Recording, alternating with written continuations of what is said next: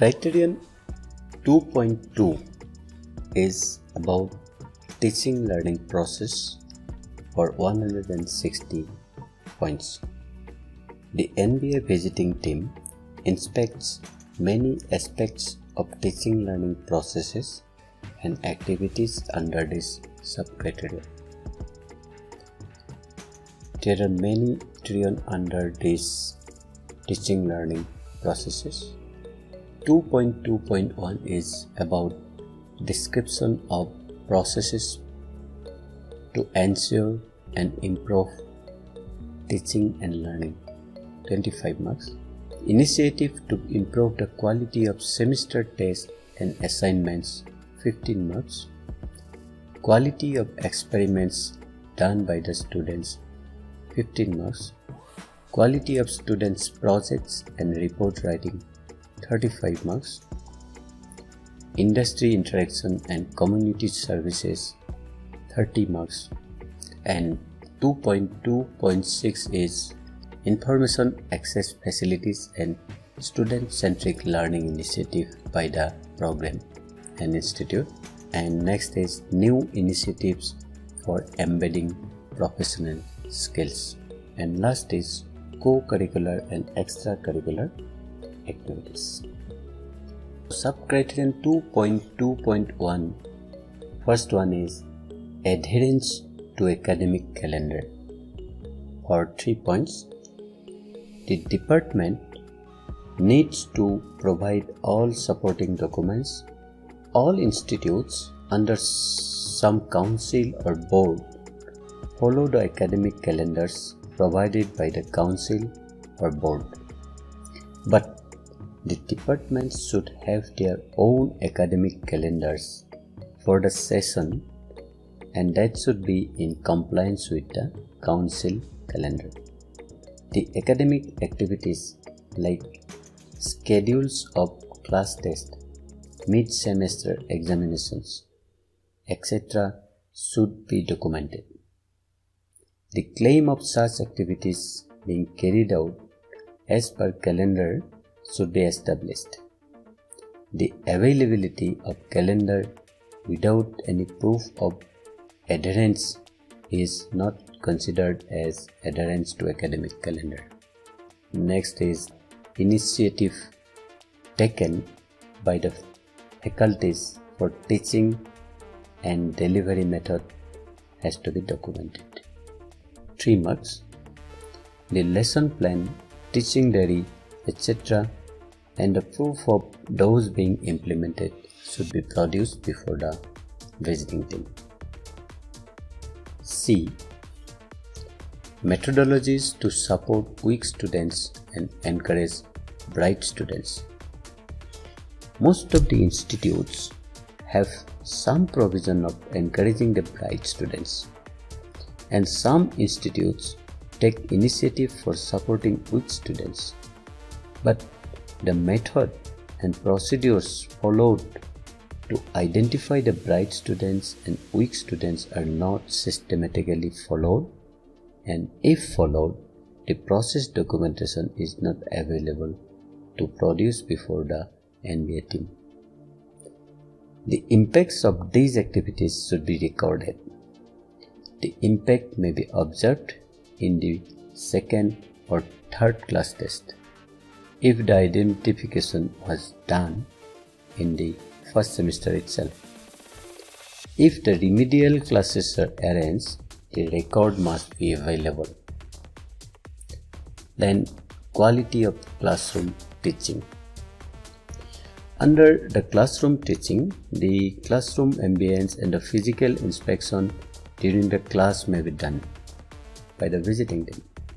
The interaction of the visiting team with the students is also expected. Next one is conduct of experiment. Under conduct of experiments, the quality of experiment, the method of observation, result analysis, etc. will be verified by the team. This is generally verified during the interaction with the students.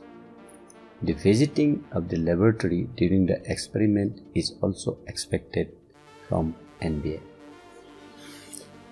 continuous assessment in the laboratory. The assessment of laboratory is done by verification of each experiment book, internal assessment records, final assessment, continuous assessment records, etc. The availability of implementation of scoring rubrics for the laboratory assessment would be a good practice to defend proper assessment process of the department. 2.2.2 Initiative to improve the quality of semester test and assignments 15 marks. Uh, probably I had missed one point. Uh, that is the assessment of laboratory is done by verification of experimental books and so after that feedback facilities. Visiting team will ask the students feedback regarding teaching learning process. The feedback formats, the feedback formats, frequency of feedback, analysis of feedbacks, action taken on the basis of feedbacks, and documentation of the records are some important aspects to be inspected by the visiting team. Students' feedback system exists in many institutes but the analysis and successive actions are not implemented in many institutes. Now, under 2.2, we will discuss initiative to improve the quality of semester tests and assignments. The process of internal semester question paper setting and evaluation and also effectiveness of the process implementation. The department has to demonstrate the process of question paper setting, the evaluation and the implementation process. The availability of evaluation guideline, model answers, etc. are essential.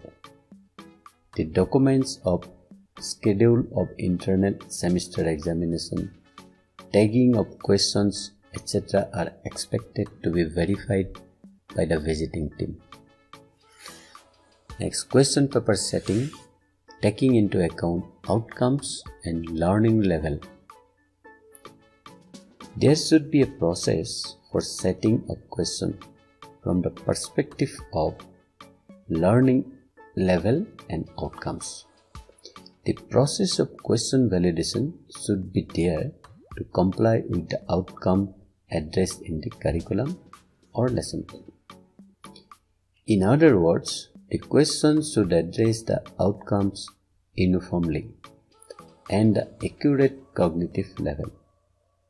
The question paper scrutiny committee should be formed and the record of modification and rejection of question paper is expected to be available for inspection. CO coverage in class test, midterm test and also in the assignments. The evidence of question addressing the CO must be available for inspection. Questions should be tagged with the COs. The mapping of the questions should be justified and all COs must be addressed by the assessment instruments. Assignments should attempt to encourage self-learning by referring multiple sources. Subcriterion 2.2.3 is about quality of experiments. 15 marks. The quality of experiment performed by students, the methodology of experiment, the observation of results, and the analysis will be inspected by visiting team. The availability of visual labs is expected by NBA the experiment's relevance to the outcomes should be revealed by mapping. Now, quality of students' projects and report writing. 35 marks. The guidelines by NBA is very clear regarding the expectation from students' projects and report writing. department may have informal procedure, but there should be a clear guideline for identification of projects and allocation method. The whole institute may have one guidelines under institute level internal quality assurance cell and the process documentation should exist. It is a good practice to map COs of the project to the POs. Factors like safety, environment, ethics, economy, etc. can be easily considered while mapping with the POs. Process for monitoring and evaluation of project. Under monitoring and evaluation, the department can define and ensure quality project identification through defined rubrics. The rubrics provide the expectations from every outcome and a guideline for distribution of marks. So, it is a good practice to have some good scoring rubrics for monitoring and evaluation of the project.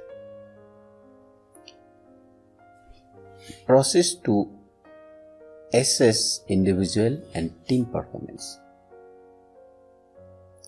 A well-defined rubrics can easily address the aspects of addressing individual and team performance.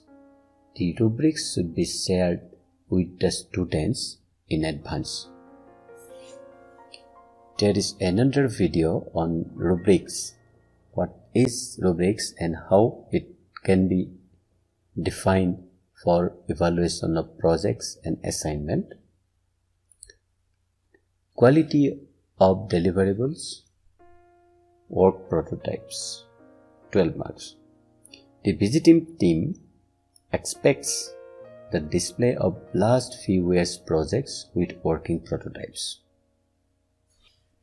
The details of evidence of any paper published and awards received are to be documented. 2.2.5 Industry Interaction and Community Services Under Industry Interaction and Community Services, there are six areas for inspection. The first one is Is there any industry supported laboratory? Next, is there any course delivered partially or fully from the industry personnel? Then, industrial visit. Documents of students visit to industries and the record of reports submitted on industrial training or internship. AICTE has made it mandatory for the institute to provide internship for the students and to have industry in institute interaction. Marks are given proportionately. For example, if 100% of the students participate training and internship, then and the awarded marks will be 5. If 90% of the student, students attend, the mark allotted is 4 and so on. Post-training internship assessment. The assessment of internship training has to be done and the students' feedback may be collected for assessing the impacts. Records of areas of training has to be provided. Reports submitted by students has to be placed during the inspection by NBA visiting team. Contribution to community Students' projects and activities with contribution to the community carries 5 marks. This aspect may be verified during the interaction with the students. 2.2.6 Information Access Facilities and Student Centric Learning Initiative. In this era of information technology, it is one of the most required criteria for any educational institute to create infrastructure for self-learning and facilitate for students learning at their own pace, time and convenience. The access to the most updated information is very essential component under this subcriterion. NBA guidelines clearly specifies the expected ex requirements. The proof of utilization of these activities need to be presented before the visiting team for verification. New initiatives for embedding professional skill. As per AICTE model curriculum, many institutes and state councils have incorporated courses like life skills and professional skills in all semesters of the program. These courses address many aspects of these guidelines, including personality development. The only requirement is that how the institute implement those courses and what are the qualities of content. The competency of the internal and external resource person delivering the content need to be documented for investigation by visiting team. Those activities need to be mapped to POs and PSOs and impact of the courses are to be analyzed. 2.2.8 Co-curricular and extracurricular activities.